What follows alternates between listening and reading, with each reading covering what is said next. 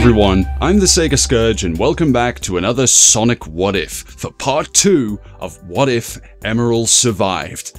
I'm so hyped to be finally continuing this story, since Emerl's arguably my favourite Sonic character to boot. While this story may have started off relatively basic, trust me, part 1 was merely setting the stage for what's to come. It gets crazy from here on out. Last time, we delved into the history of Emerl and the Gizoid, as well as recapped the story of Sonic Battle, before finally delving into the events that resulted in Emerl's survival. I highly recommend watching part 1 again if you need a catch-up since it was a while ago. But to summarize, Emerl, after succumbing to his old programming, threatened the Earth with a superweapon in a mad attempt to absorb more energy. To bring him under control, Sonic used the Master Emerald's power to transform into Super Sonic, and after battling his friend, a miracle occurred. Super Sonic's power and Sonic's decisive spirit managed to bring Emerl back to his senses and return him home. But not entirely in one piece. Emerl's right arm was whipped off by an over-excessive strike from Super Sonic, Tails, doing the best he could to replicate Gizoid tech, developed a brand new arm for him. This arm wasn't seen in part 1, in fact it wasn't even designed, but thanks to a talented viewer called Cameron, we now get to see the replacement limb in action, its color scheme inspired by the Tornado 2. Members of my Discord community have lovingly dubbed this arm the Prower Arm. Anyway, following that, the story of Sonic Advance 3 kicked off, and with it, Gemerl was introduced. In this interpretation of the story, Gemerl was unable to snag the Seven Emeralds and transform in Advance 3's finale, since all Seven Emeralds are still tucked away inside Emerl. This meant that he wasn't defeated, recovered, and reprogrammed to live with Cream and Vanilla. This what-if version of Gemerl is still united with Dr. Eggman, still an unyielding Super Badnik, and the enemy to the Sonic cast.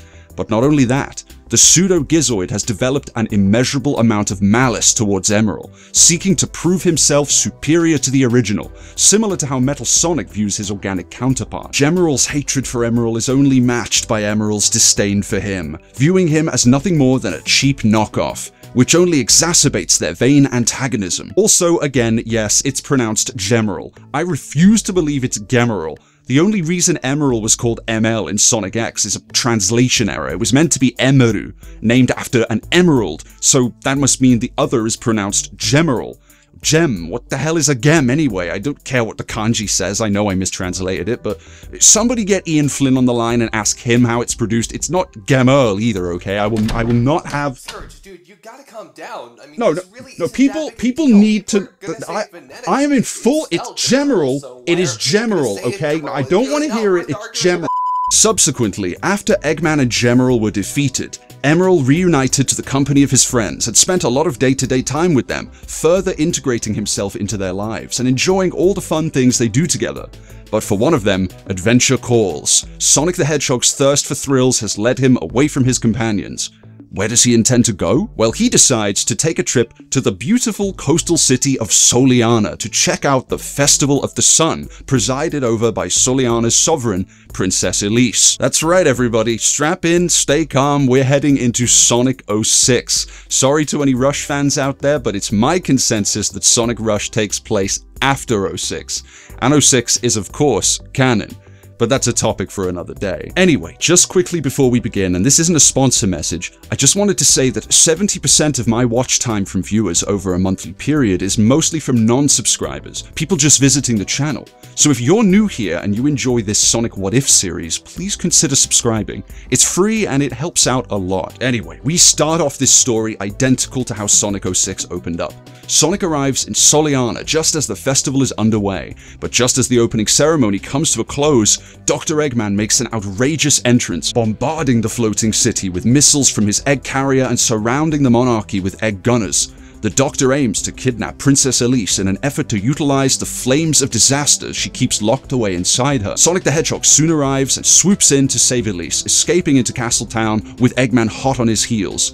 While Sonic is distracted dealing with a blockade of robots, Eggman moves in to snatch Elise while his back is turned. But just as the large detachable hands reach out to seize their target, an orange and yellow blur charges into Eggman's Eggmobile, slamming it into a nearby building before it can make its move. What the? Don't tell me that pesky fox boy is here as well. The amber streak comes to a halt, skidding in front of the young Princess Elise. Nope, just your friendly neighborhood Gizoid. The lovable robot boy is here. Emerl followed Sonic to Soleanna due to the link he and Sonic have. Again, I'd recommend checking out part 1 if you want to learn more about that. Emerl strikes Sonic's classic finger wag pose, flippantly taunting Dr. Eggman as the Mad Doctor curses the droid's sudden appearance. The Doctor then realizing the actuality of his botched kidnapping opts for a strategic retreat in the egg carrier, vowing to capture both Elise and the Gizoid when the time comes. Emerl runs in the direction of the egg carrier's getaway, yelling and clenching his fist, demanding that Eggman come back and fight like a man. Easy there, Emerl. We'll get him. Don't you worry. First acquaintances play out between Elise and Emerl, with Sonic introducing the young patrician and the general situation surrounding Dr. Eggman, during which Emerl then cuts in with a particularly no-nonsense remark. Sonic, I don't think Mom would like you running off with random girls. Mom, of course, in reference to Amy, who insists Emerl call her that. Sonic hushes his surrogate son as Elise befuddlingly giggles at the conversation between the two. She then thanks them both for rescuing her before expressing her concern for the festival goers and hopes that none of them were hurt in the attack. However, Sonic tells her that she isn't safe right now and they need to find a good place to hide for the night before tending to the townspeople. And so, the next day, after taking residence in an old inn, Sonic and Emerl escort Elise to the Soleanna police in hopes that she'll be safe in their hands. On the way, they run into Tails, who informs them that Eggman's airship was spotted near the beach.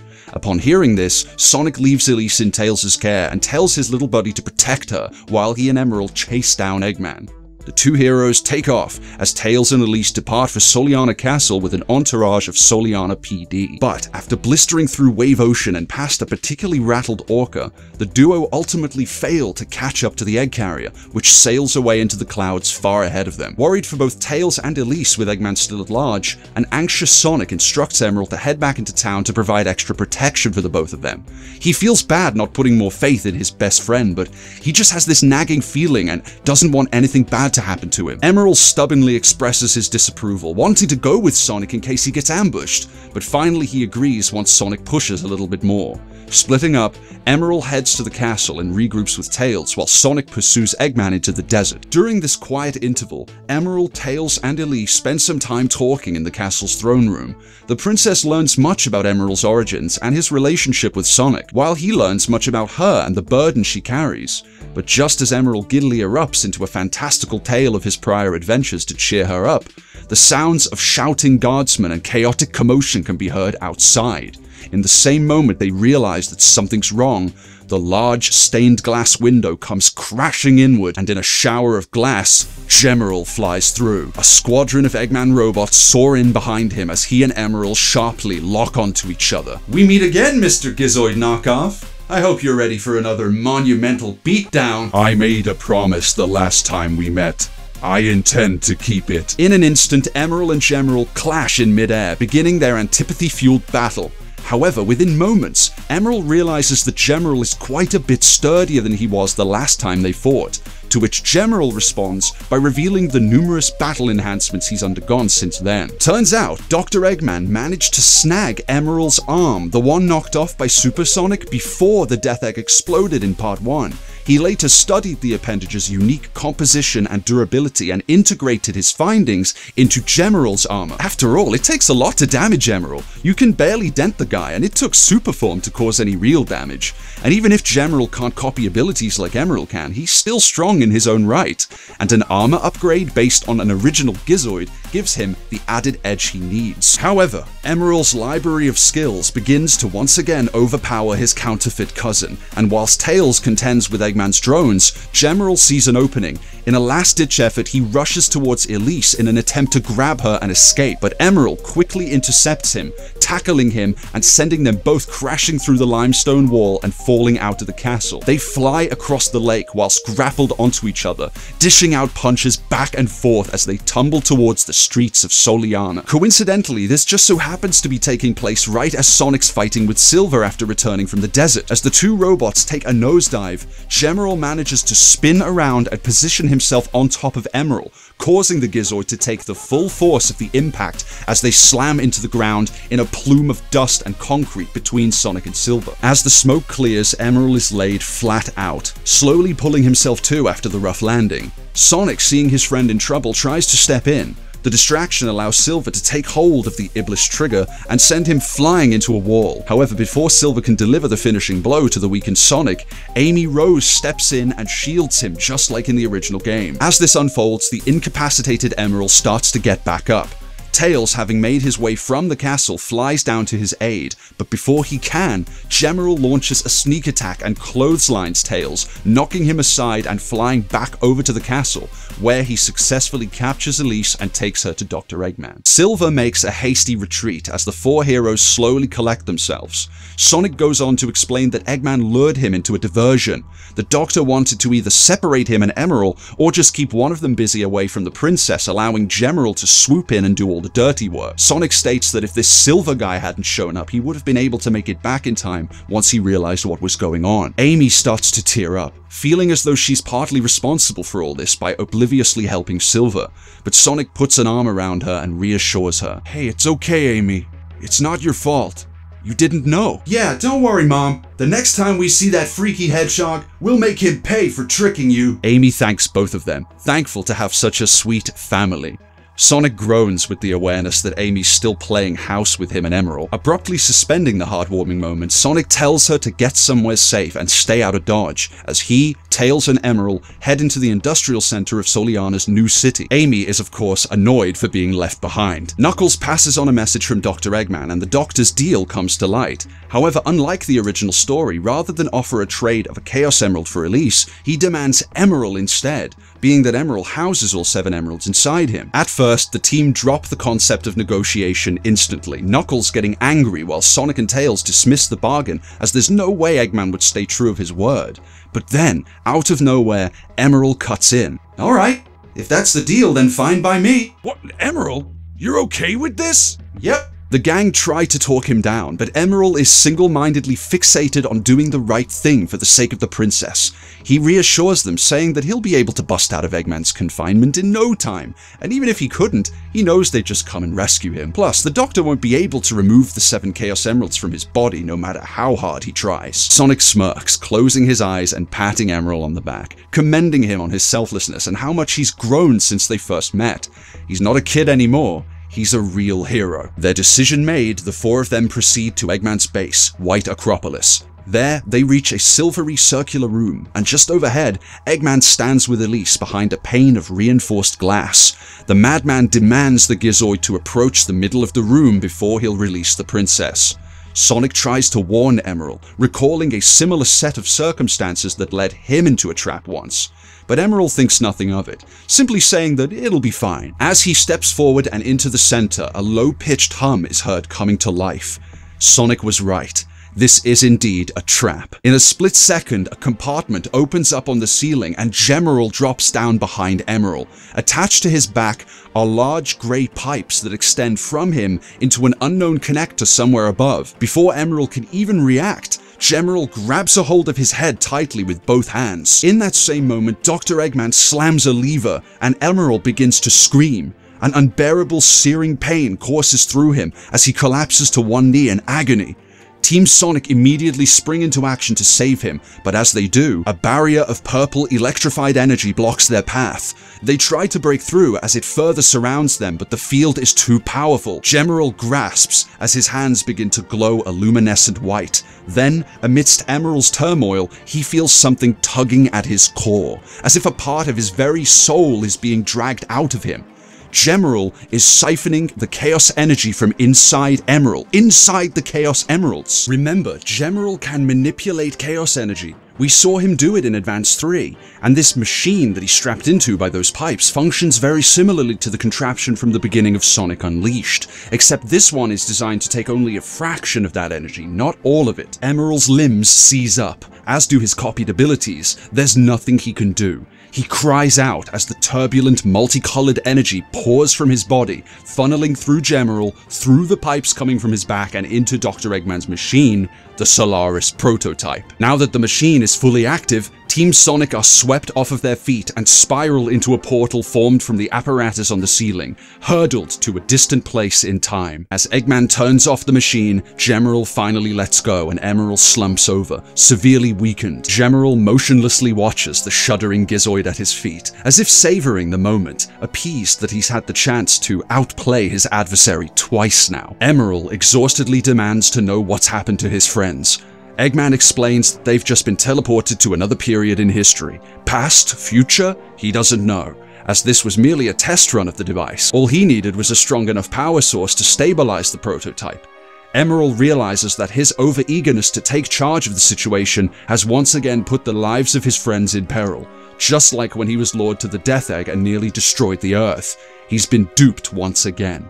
Despite all the skills and information he's gained, he feels as though he's learned nothing. Furious at both himself and the villains before him, Emerl comes to his feet and staggers forward, hopelessly aiming to fight Gemerl and Eggman. Gemerl continues to stare, not moving a cybernetic muscle, and as Emerl attempts a punch, his body finally gives out and he collapses.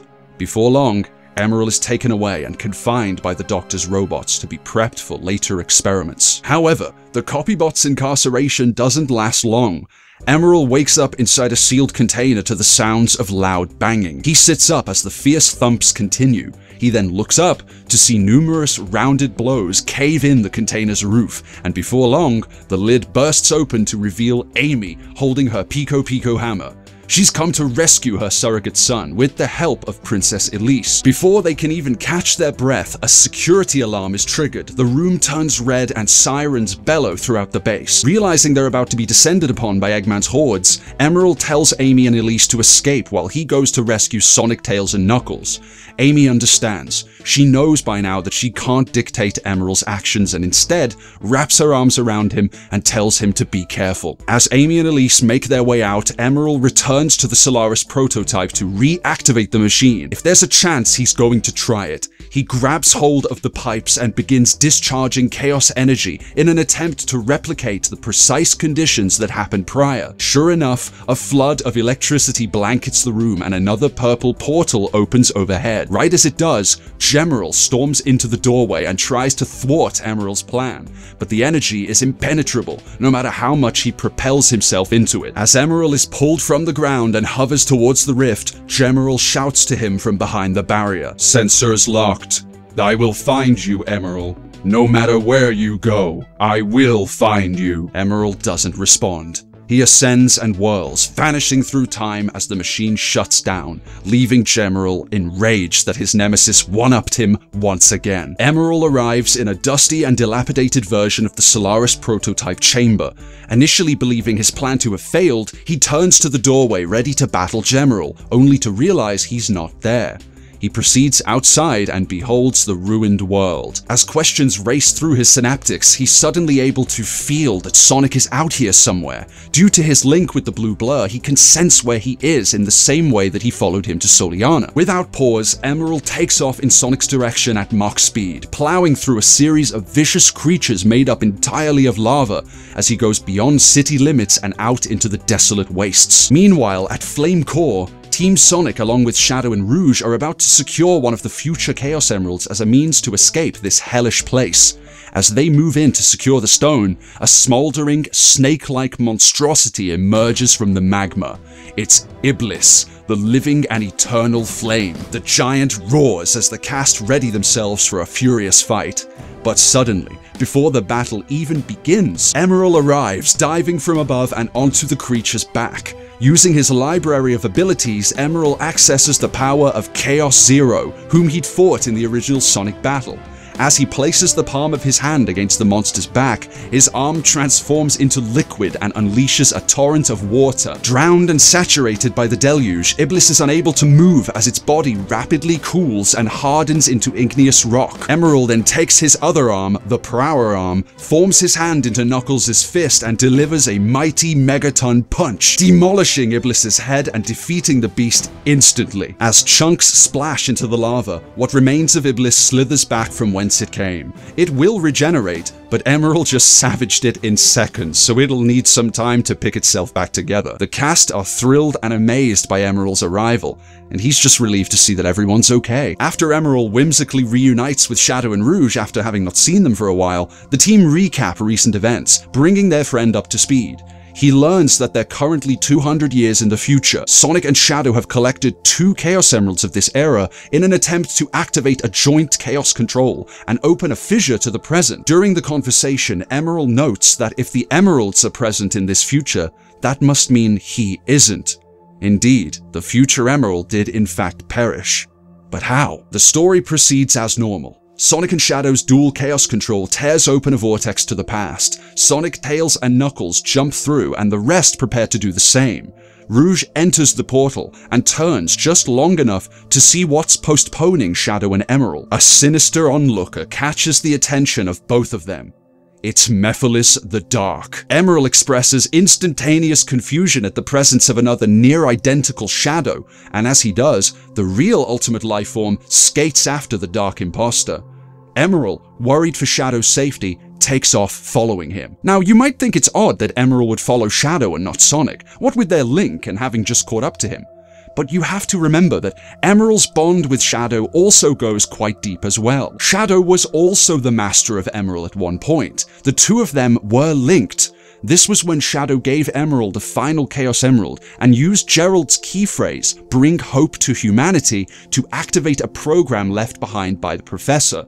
This code allowed Emerl to continue being himself rather than the weapon of mass destruction that his makers designed him to be. The link Shadow achieved was later severed when Supersonic combated Emerl aboard the Death Egg. So yeah, he owes a lot to Shadow. He's not about to just abandon him. And this also showcases Emerl's selflessness. He'll go with Shadow even if it means he'll potentially be trapped in this future too. Shadow catches up to Mephiles and the scene plays out as normal. Mephiles reveals the fate of the future Shadow, condemned and imprisoned by the world.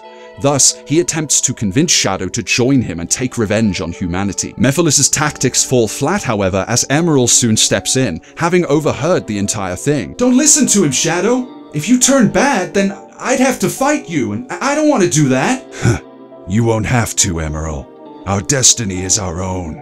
No one can turn us into something we are not. Mephiles glares at Shadow and Emerl, realizing there's no further point in trying to beguile them.